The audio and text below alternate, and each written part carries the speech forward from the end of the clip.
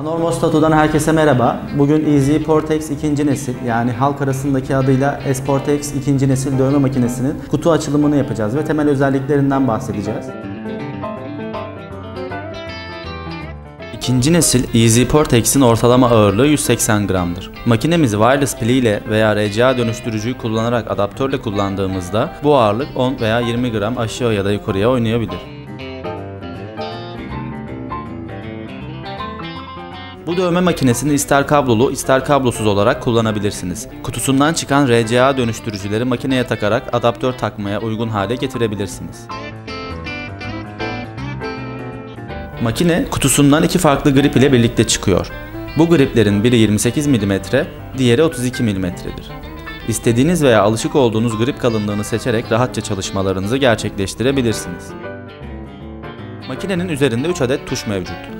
Güç düğmesiyle makinenizi çalıştırıp stop and start yapabilirsiniz. Diğer tuşlarla voltajınızı düşürüp yükseltebilirsiniz. EasyPort eksi 5 ila 12 voltaj aralığında çalıştırabilirsiniz.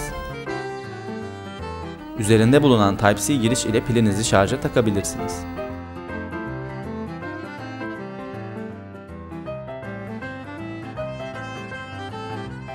EasyPortex ikinci nesil wireless dövme makinesi 3.5 mm stroke yani 3.5 mm vuruş uzunluğuna sahiptir. Soft gölge severlere, tonlar arasında yumuşak geçişler yapmayı sevenlere bu vuruş uzunluğunu tavsiye ederim.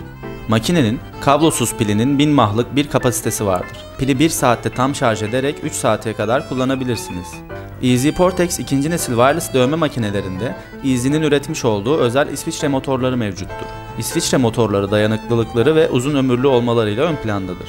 Bu makine uçak alüminyum materyalinden üretilmiştir. Bu da makinenin daha sağlam bir kasaya sahip olmasını sağlamaktadır.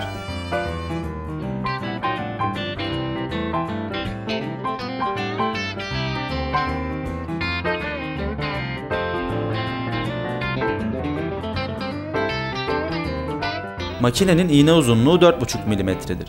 Yani kartuş iğnenizi gribi çevirerek 4,5 mm'ye kadar çıkartabilirsiniz.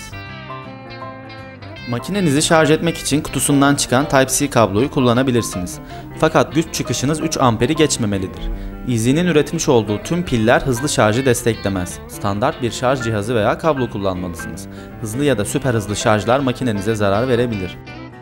Easy Portex ikinci nesil kablosuz dövme makinesi tanıtımımız bu kadardı. Anlamadığınız veya eksik anlattığımızı düşündüğünüz bir yer, merak ettiğiniz herhangi başka bir konu varsa lütfen bize yorumlarda belirtin. Panormo Statu'dan herkese sevgiler, hoşçakalın.